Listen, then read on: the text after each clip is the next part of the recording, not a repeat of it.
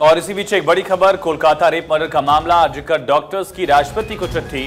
Doctors ने मामले में हस्तक्षेप की मांग की है। ये बड़ी और अहम खबर। कल मुख्यमंत्री ममता बनर्जी ने जनता से माफ़ी मांगी थी और कहा था कि मैं माफ़ी मांगती हूँ कि मैं डॉक्टर्स को काम पर वापस नहीं ला सकी। और अब डॉक्टर्स ने सीधे देश की राष्ट्रपति को लेटर लिखा है। इस पूरे मामले में दखल देने की मांग की गई है। ये बड़ी और अहम खबर कोलकाता रेप मर्डर के मामले से जुड़ी हुई है।